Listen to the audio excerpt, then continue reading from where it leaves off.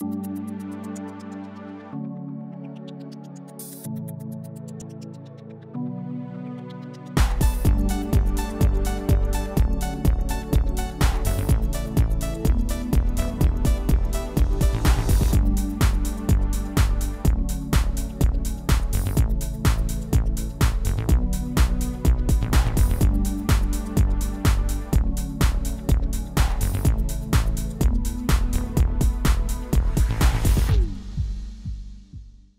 I'm David Baker, and I'm so glad you came tonight to hear the work of three of our poetry neighbors Michael Rosen, Maggie Smith, and Kathy Fagan, each of whom brings a brand new, wonderful book of poetry. It's also the very beginning of National Poetry Month, so we have all kinds of things to celebrate. It's also National Sports Eye Injury Awareness Month. It is National Florida Tomato Month. It is Kite Month. It is Frog Month. It is Straw Hat Month, Pecan Month. It is, boys and girls, National Holy Humor Month. I looked them up. This is how many months April is. Yeah, just makes you kind of crazy, doesn't it? Competition. We will hear from Kathy first, then Michael, then Maggie. I should tell you, all three poets are very dear friends. When I moved myself to Central Ohio in 1984, one of the first people I sought out was Michael Rosen. I had just seen a poem of his about a rainbow trout in the New Yorker, and I thought, I should find this guy. We are going to be neighbors. I'd already met Kathy Fagan when she moved to Salt Lake City in about 1981 or two or three, two, I think, two, where I was doing my PhD and where she started in that same program. Maggie Smith is my newest friend, and our friendship dates back to 2005 when we met in the MFA program for writers at Ohio State, where Maggie was finishing up her degree and where I was teaching. So, Kathy first. Kathy moved to Utah, um, to Ohio, I should say, after finishing her PhD, moved to California to teach, and then here to Central Ohio in 1989, where she's currently director of the MFA program at Ohio State, where she is poetry editor for the OSU Press and advisor to OSU's literary magazine, The Journal. She's published five award winning books of poems, including her brand new book, Sycamore from Milkweed Editions, which is a finalist for the Kingsley Tufts Poetry Prize and the William Carlos Williams Award. You will hear a wonderful lyric depth in Fagan's work, a blend of devotion and anxiety to the forms and methods of poetic singing. Her poems are rich, complex, powerfully moving. You'll see. Michael Rosen, my fish poem buddy, was born in Columbus, educated there in New York City, where he took his MFA from Columbia. He did a stint in animal behavior in school, a stint in med school, and has long been a devoted animal rights person. I think his email is something like Fido philosopher or something. Yeah, that's just pathetic. That's For years, Michael served as director. He was one of the creators of the wonderful Thurber House in Columbus. But about 20 years ago or so, 15 years ago, he moved into the wilderness of rural Ohio. He lives on 100 acres outside of Glenford now, with dogs and flowers and trees, and where he makes his living writing books and sometimes illustrating his books for children and young writers, as well as poetry for adults. At latest count, are you ready? Really, get ready for this. Michael has published something over 150 books. this, my friends, is an actual professional writer. I've never met one before who makes a living writing books. Michael's newest book of poems is Every Species of Hope, and we're here to celebrate that book. We'll end the reading with Maggie Smith, also a Columbus native. Maggie took her degree in English No, it wasn't English. What did you get your degree in? Creative writing. Creative writing. Okay, close. From Ohio Wesleyan, and then did her MFA at Ohio State, and now lives in Bexley. She's worked in children's literature too, as an editor at a children's trade book company before she decided to turn to freelance work, which she continues now. Maggie's published three chapbooks and three full length volumes of poetry, including the brand new Good Bones. You might know that title. An incredible thing happened to Maggie a year or two ago. A new poem of hers, called Good Bones, appeared in an online literary journal called Waxwing. That's news enough for a poet, and the most we hope for. Someone reads our poem. Maybe a few hundred, maybe a couple of thousand if we really hit the big time. But Maggie's poem went, as they say, as though it were an illness, viral. In a matter of days, thousands, tens of thousands, and now who knows how many people have read and shared and tweeted and Instagrammed and blogged about this timely, funny, heartbreaking poem. You'll see. And you'll hear that great combination of heartbreak and humor, of familiarity and familial in Maggie's work tonight. This is a real treat this evening. We have cookies and books and poems, and we'll start with my dear friend, Kathy Fagan.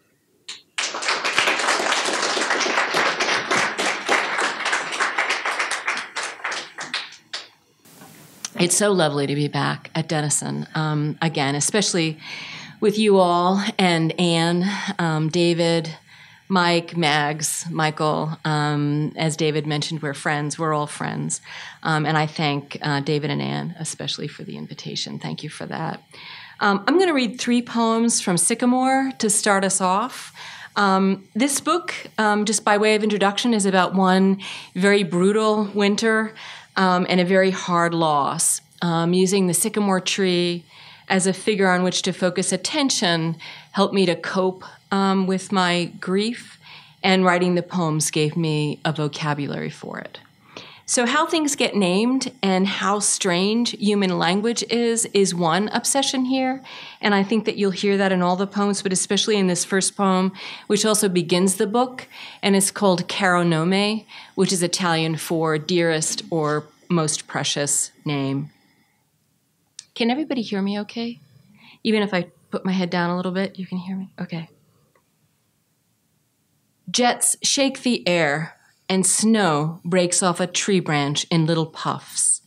One cardinal, cars moving slowly downhill on the ice. It's always someone's last day. Dearest bird, she read from the card she'd found unattached to the flowers. Happy day to our sweetest heart. Love, monster, and beef dad. Their secret language. Manischewitz, she calls me for the sweetness. Manitoba for the expanse. Deer rest in snow, charcoal muzzle to charcoal hoof, heads slung over their shoulders like swans. One is in REM. Look at it dreaming, she said. Fern buttons unwheel in a dark place behind the snow, a contrast she loves in me. The sledding hill is closed.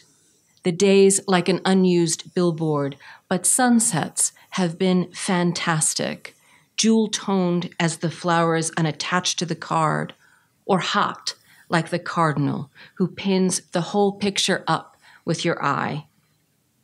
Meanwhile, her tree is an iron room with the moon inside. Its branches have a mental disorder, so sunsets keep dodging them I am the color of that tree she loves, and nearly as still. And my blood, which is not in this picture, will soon cool, sunset winking out in my eyes, and her eyes welling in a language that once fell and rose in drifts, then melted. Starry, she said, starry into my warm coat.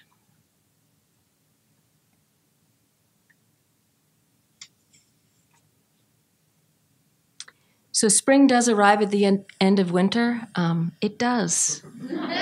Doesn't it? Doesn't it? Please assure me that spring will arrive. It did in this book, anyway. Um, and toward the end of this book, um, I have this poem called Perpendicular. It would have been a fine path for a lizard to cross, but I saw none.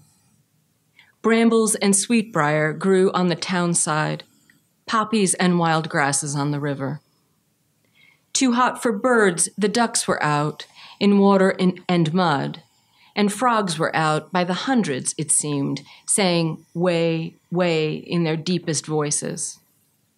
It was beautiful there, but I'd seen beauty and its opposite so often that when warmth broke over my skin, I remembered winter, the way fresh grief undoes you the moment you're fully awake.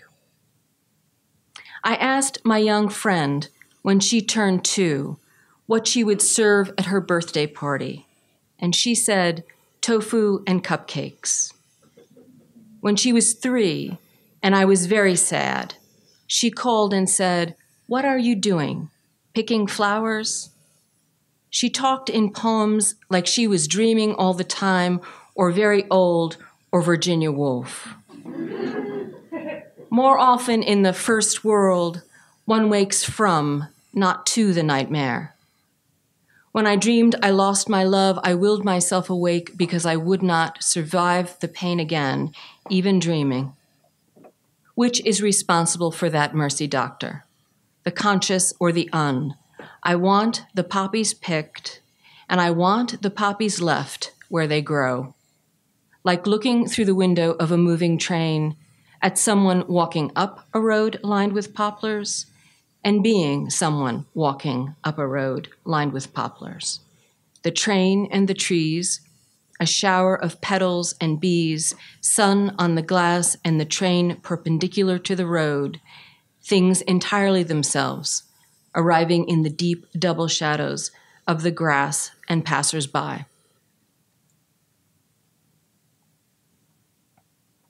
Um, this last poem that I'll read you from Sycamore is called Inscription, and it's the penultimate poem um, in the book. And you might need to know um, just three quick things about it. Um, first, the subtitle is Canal du Midi, France, which is a canal built in the 17th century for um, shipping purposes. Second, the plane tree and the sycamore tree are basically the same trees. Um, and third, there's a tiny bit of French and franglais, um, in this poem. Um, in particular, the word sex toys, um, which is spelled S E X E T O Y E S. Vive la France, what can I say? Inscription Canal de Midi, France. Arcades of plane trees arc aves above the canal. I know they are not a choir. I know they are not kabuki, tusk, knuckle, or the swords and flames St. Joan rode into, though it's true, I think of them as these. And as the sky's deep pockets of snow, white keys, mammoth teeth. It is my way and my need, mes amours, sycamore, my emblems on a crest, gallery of visible ghosts. Mostly, I love the light they hold inside, the all too much and aged toujours of them, their airborne electricities. Who's to explain affinities like these? Two seas were joined this way in 1681, sparing sailors from piracy and storms. In the 1830s, planes were planted on its banks to protect vacationers from sun. Now, a careless tourist nicks a tree with rope and spreads disease that will kill them all. Ceratocystis platani, traced to munitions boxes brought by World War II GIs. 42,000 must be felled and burned to save, scientists hope, the remaining planes, cousin to our sycamore, that is the wood that made the box that held the fungus riding in the waters of the canal. Measures have been taken, the road to hell, etc. St. Joan finally was burned to death for the cross dressing. kabuki theaters incinerated by soldiers for their drag shows and wartime sympathies. Sorrow, desire. There are so many auto fatalities on plane lined streets here, the French joke about why the tree crossed the road. They burn the hollows out sometimes, inscribe vaginal lips around the gashes in swaths of hot pink paint. What we leave behind and what is left of us are related questions. The graves in town are up to three centuries old. Some crypts, forged crosses, chipped wreaths of ceramic flowers, earth gouged, trees felled, buildings razed, never mind the lives. In the New World, a fungus resistant sycamore is bred to replace relatives destroyed at the canal. Measures taken, like swapping out the burnt out bulbs on a string of Christmas lights. So what if we are replaceable? Mostly, I love how we burst the prisons of our skins and shine. Outside the cemetery, someone's magic markered a locked electrical box with the words sex toys. The plaques on the graves nearby are inscribed souvenir and regret, which are, even in my language, polite ways of saying done.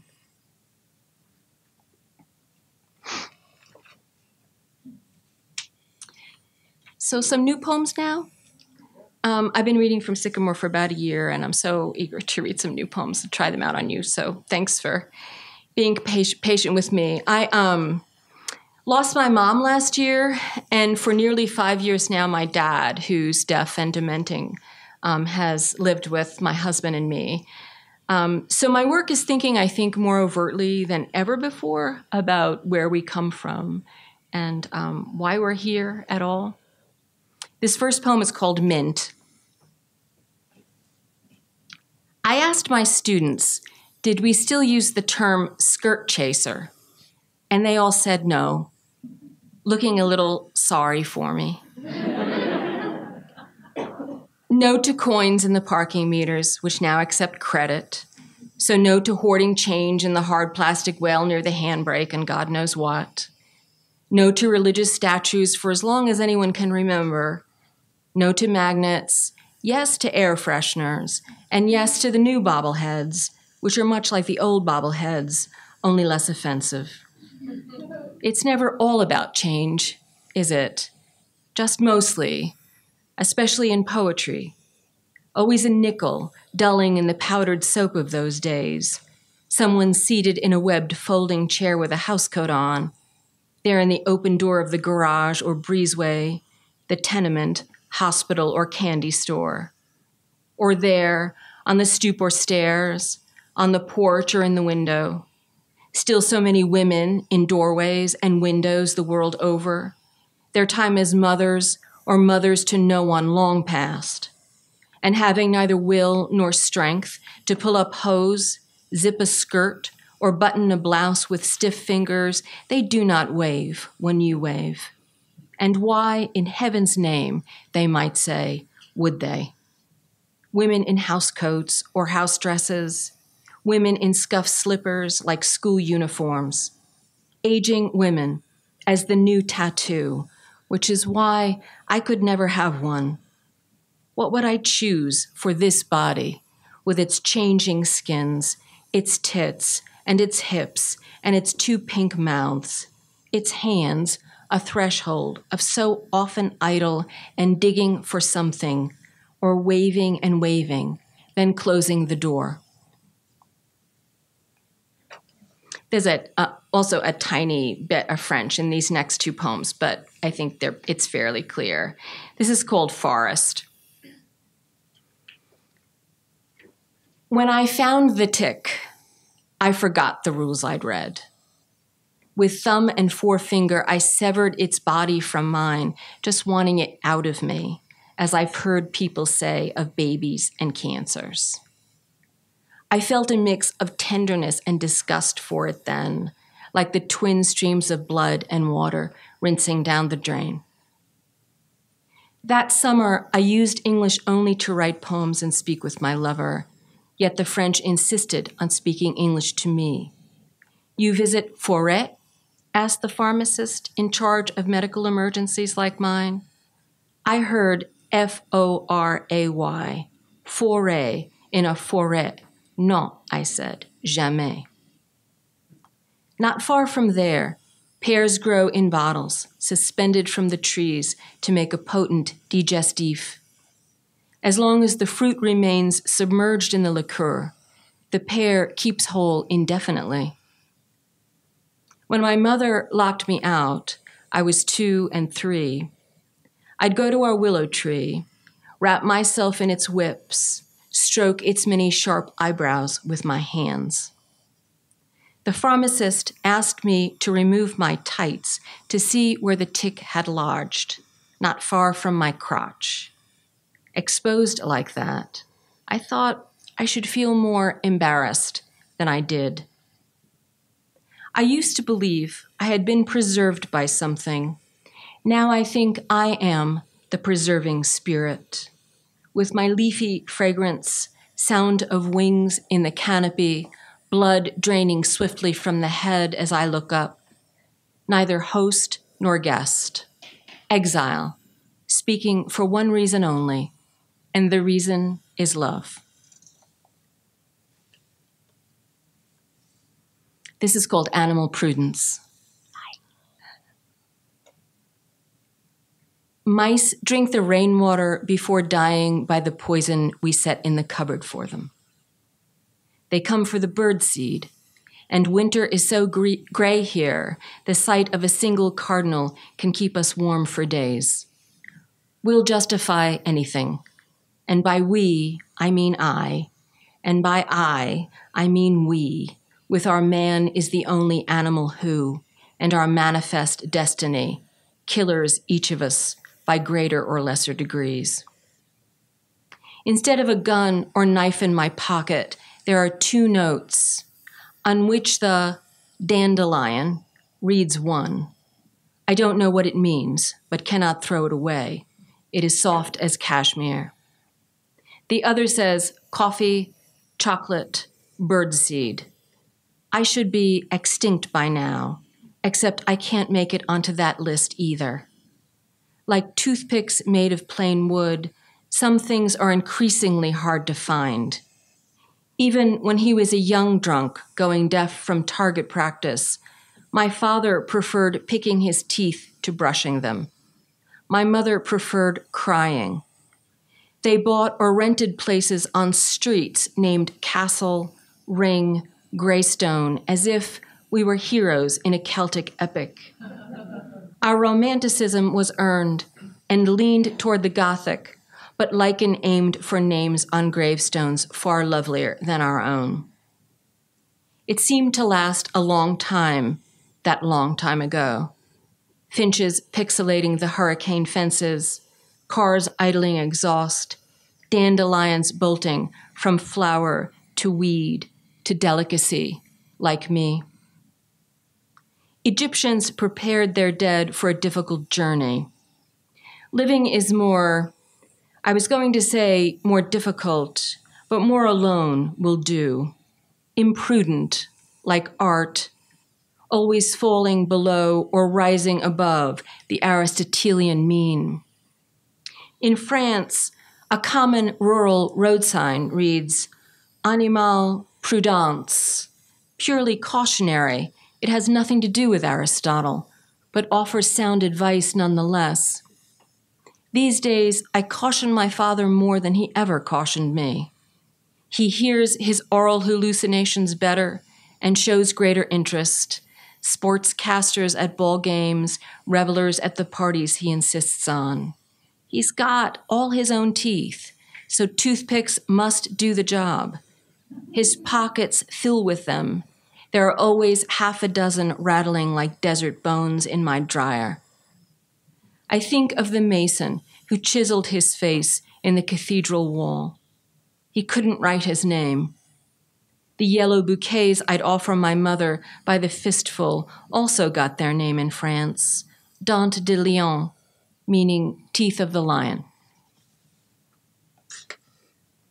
This last poem makes reference to song dedications on the radio. Is that still a thing?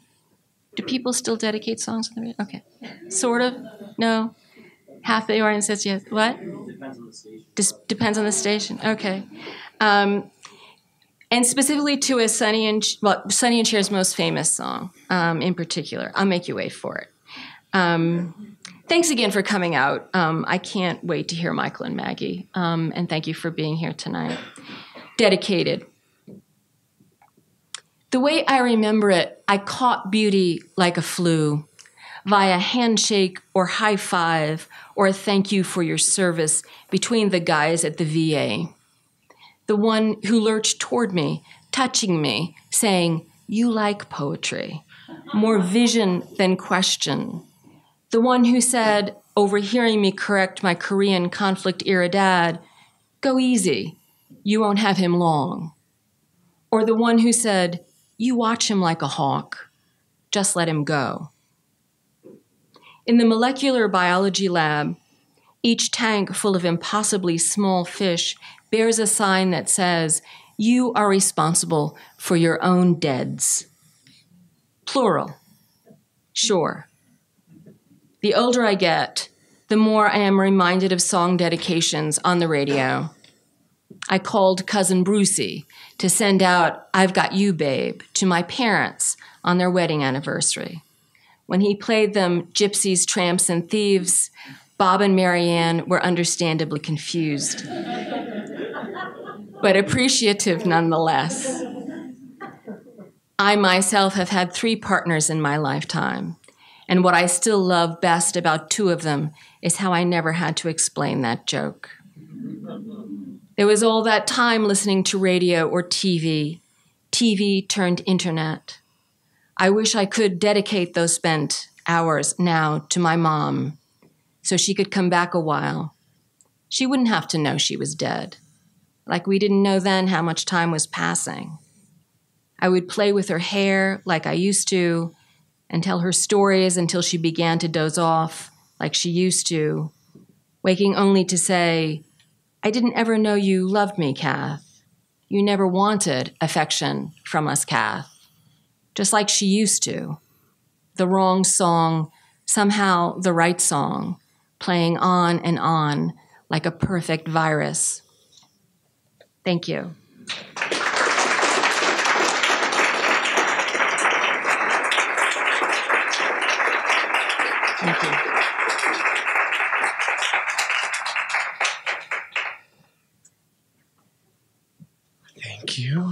Um, the last time I think I got to read with Maggie and Kathy was for Writers Resist.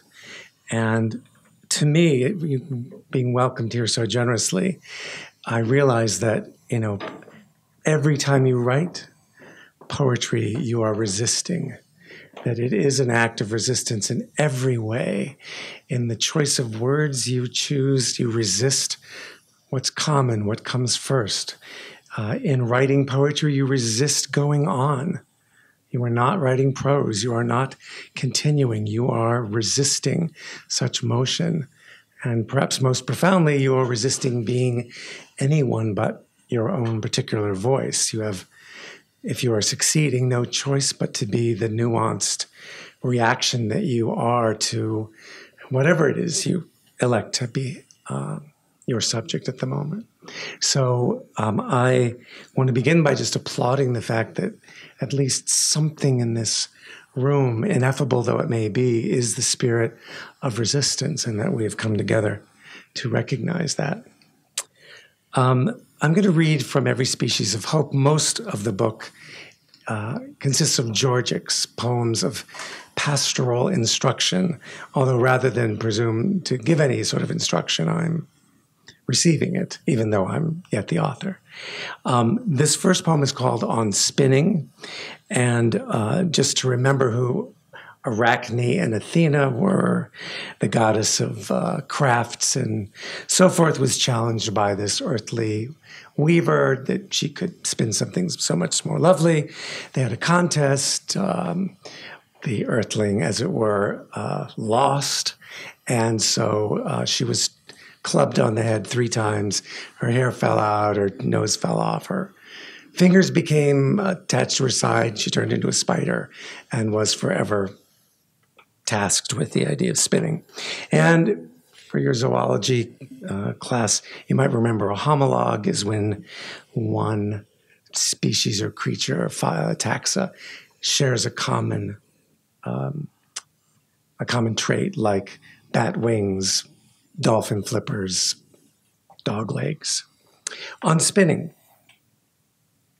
a lifeline trails each move a spider makes, weaving mullions from which it spies the universe. Imagine if humans too could see the rambling course we've roamed in search of sustenance and love. What if, like arachnids, we could retrace the tenuous lines we've left, repair or even consume the past, and twist it into another future? As for what we spin, hope may be the closest homologue. Yet nothing we make, nothing on earth can match the spider's strands for strength.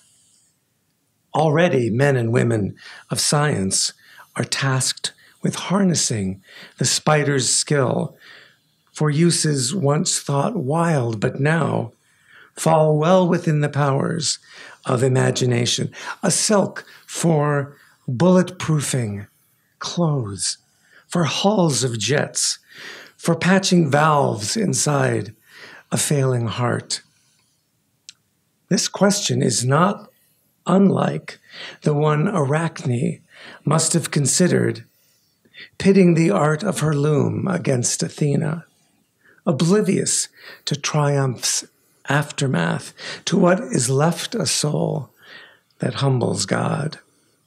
Arachne hanged herself in the forest, and to this day, each path you clear still bears witness to her handiwork, invisible as guilt or fear or any consequence of choice, until a web snaps across your face and you lurch backwards, plucking the gauze that clings with shells and legs and wings of other victims on your skin. So far, the spiders will not cooperate.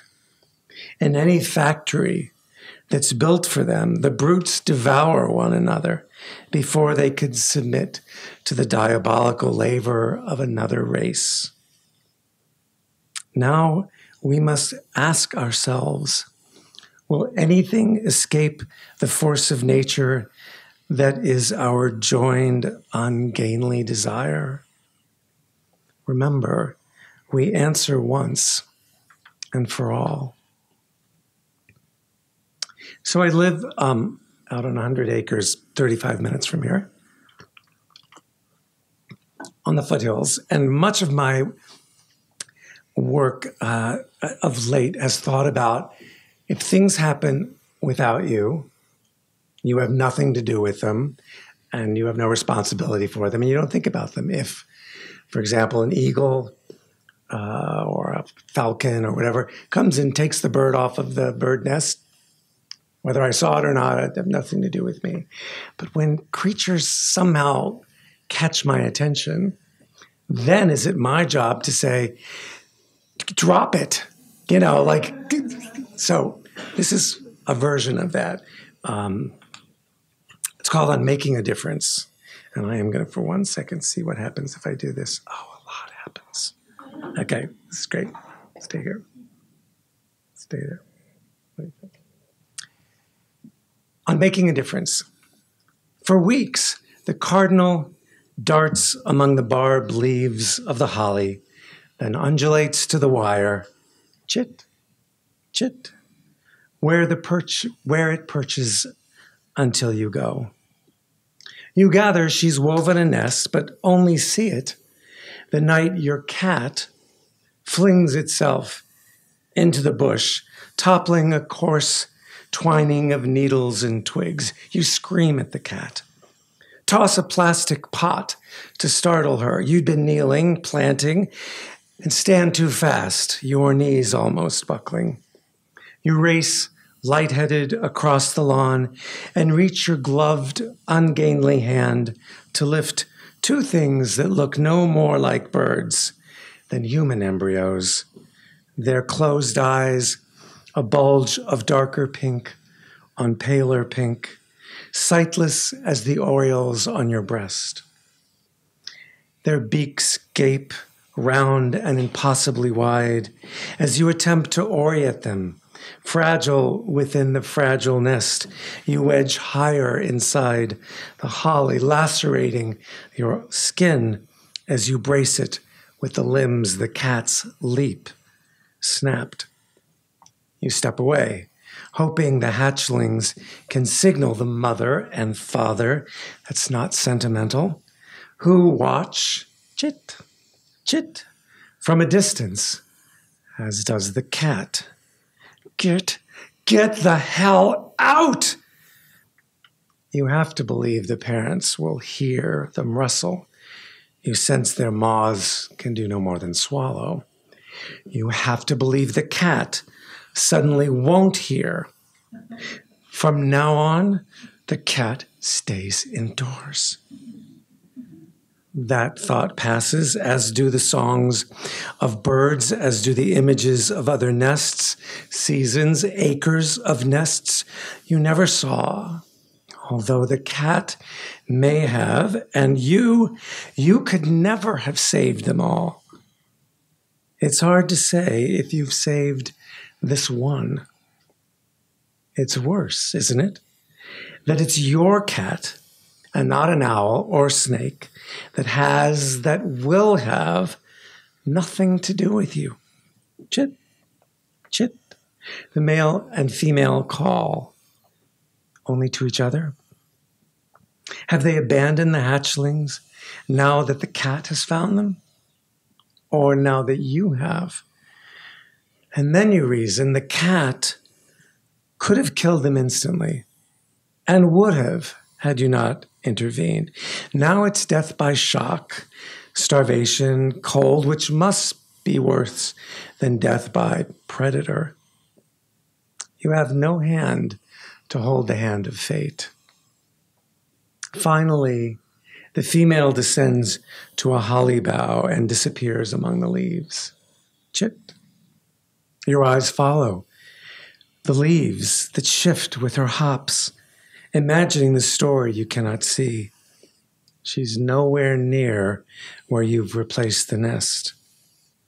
Chit.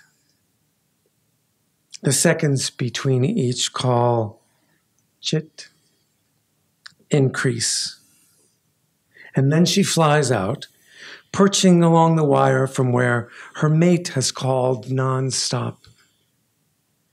From what you think is a safe distance, you watch until there's only darkness to watch.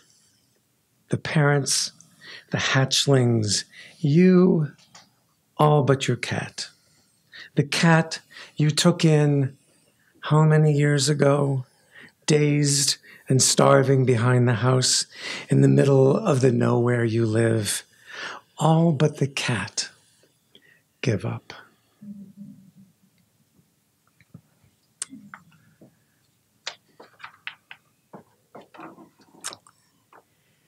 So uh, there's a thing they sold in the 50s to rural uh, properties called multiflora roses. yeah, and they're basically one of those very bad invasive species that now make brambles and you know cover the place. And then um, you might remember that pheromones are chemical scents that creatures leave to affect the behavior of other creatures. So this is called on living fences, which was their nickname. You could, you know, 50 living fences for $7 or something like that. The deer wend their way amid the woods, plodding a narrow, single file path among brambles, blockading trees, barbs of wire, blackberry, and wild rose. You take their lead, placing your inarticulate feet over the quotes their hooves have printed paired half moons some other earlier nation had scrawled to tell its travels to the future.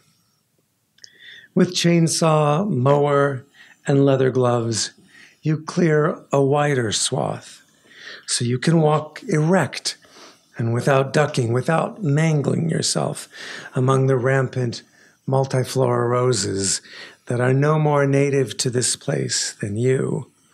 A virulent hybrid merchandised to farmers 70 years ago as living fences, feckless spires of predaceous thorns to keep the deer from their crops, the livestock from harm.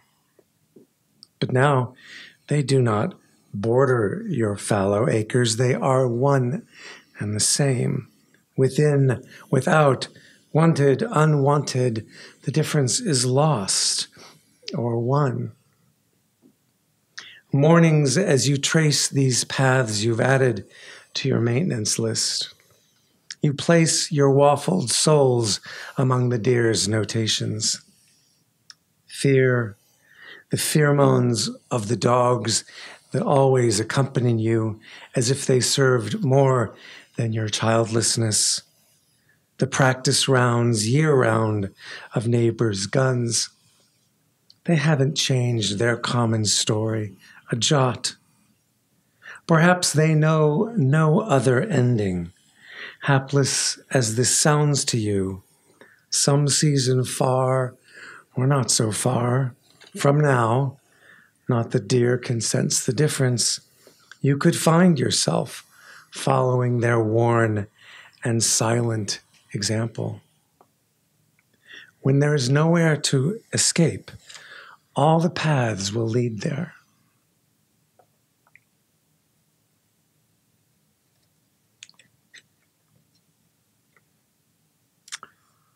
And this, well, I started the timer, but now the timer is, oh, 10 minutes. Okay. Uh, this is called On a Redwood. One day, when your friend delivers the pot bound seedling, the redwood bought in college, shipped across the country, and shuttled from porch to porch, spindly needles dropping like second hands, our clocks have all but given up. Plant it among your acres, imagining the day when it has grown the height of 30 men and shaded 30 generations. Of all the evidence remaining of how you live to make the world, of how you live to make the world more peaceable or just, consider this tree, one infinitesimal part of an earth that could, by then, be flooded, abandoned, or cold. So much of what we do will last a season. Our deeds are annuals we choose to sow again or not. So much of what we pledge extends for several years, no more, as if the heart as well rotates its yields. So much of what we dream bridges a generation, the 30 years or so before the child has heirs. So much of what we fear looks toward the century, the dimming likelihood that we will see such change. Time's rewards exceed our chance to ever accept them. You must consider now for all eternity. Actually, I think the stopwatch stopped. So I think that's my chance to say thank you very much and uh, an honor to read to you all tonight.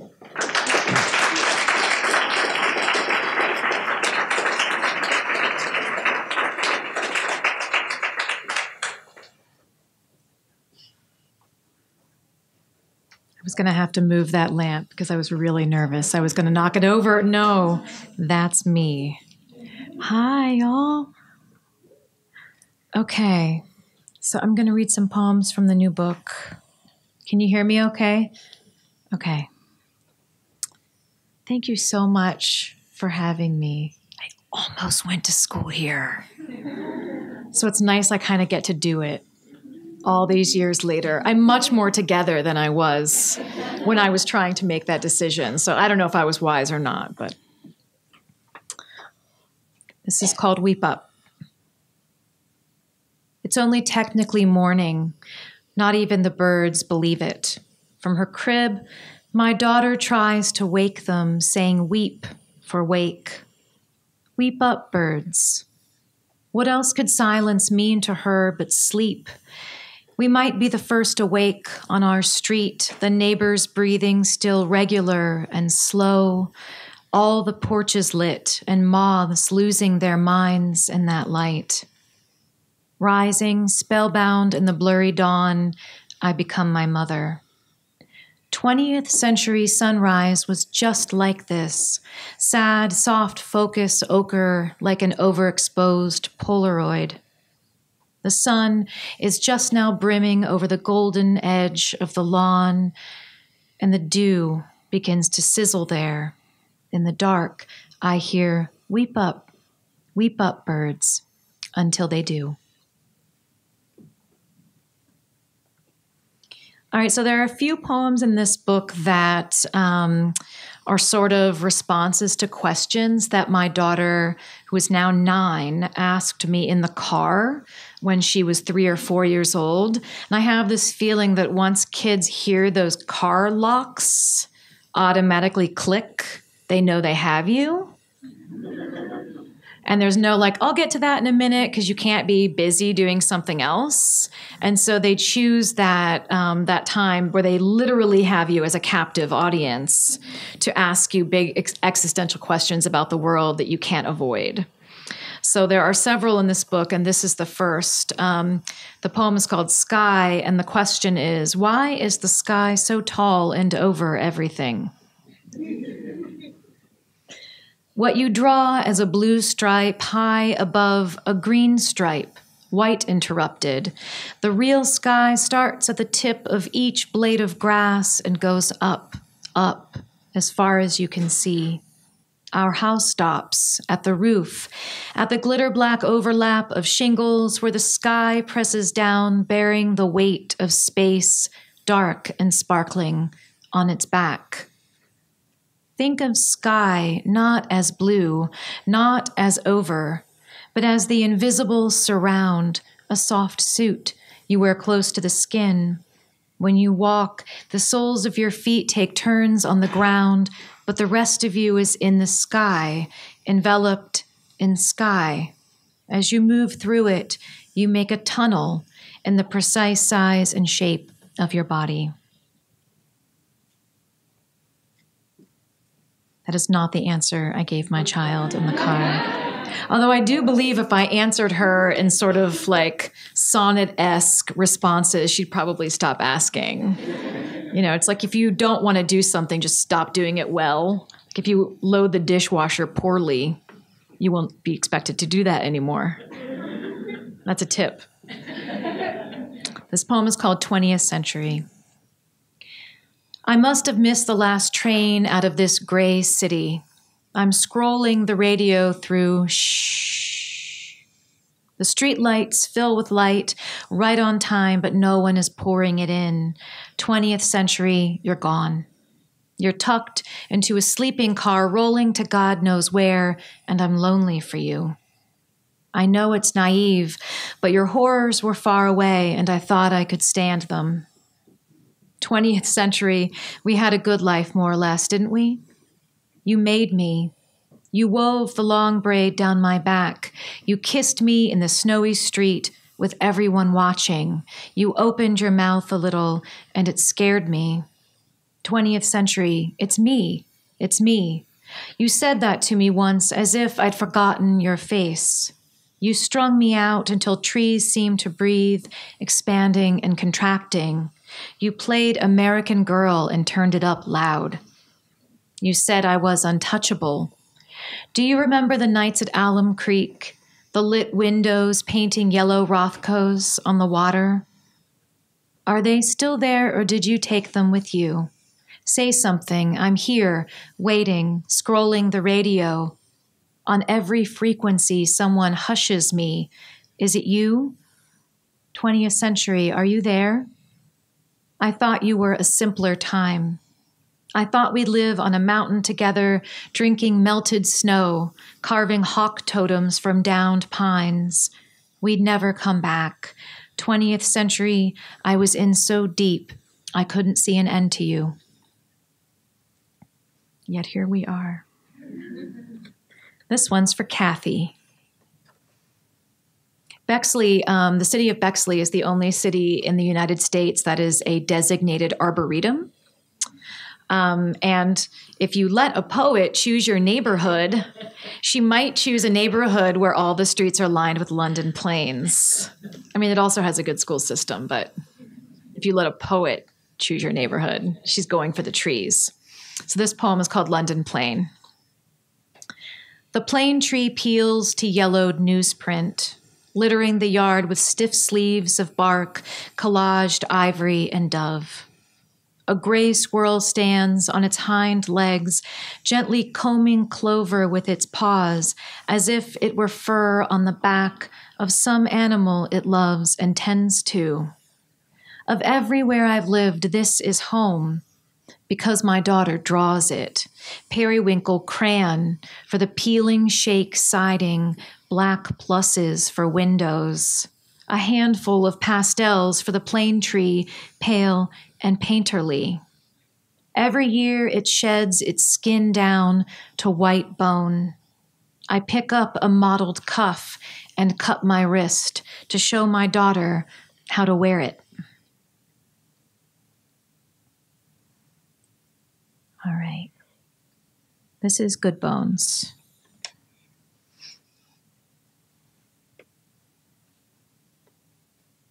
Life is short though I keep this from my children. Life is short, and I've shortened mine in a thousand delicious, ill advised ways, a thousand deliciously ill advised ways I'll keep from my children. The world is at least 50% terrible, and that's a conservative estimate, though I keep this from my children. For every bird, there is a stone thrown at a bird. For every loved child, a child broken, bagged, sunk in a lake, life is short. And the world is at least half terrible.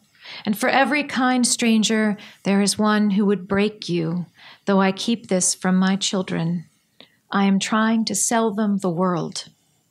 Any decent realtor walking you through a real shithole chirps on about good bones. This place could be beautiful, right? You could make this place beautiful.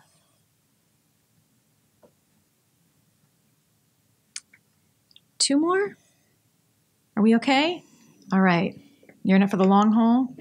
There are brownies outside. I know you're thinking about those brownies. All right. I was talking a little bit about um, empathy with my students this week and how poems can be little machines that make empathy.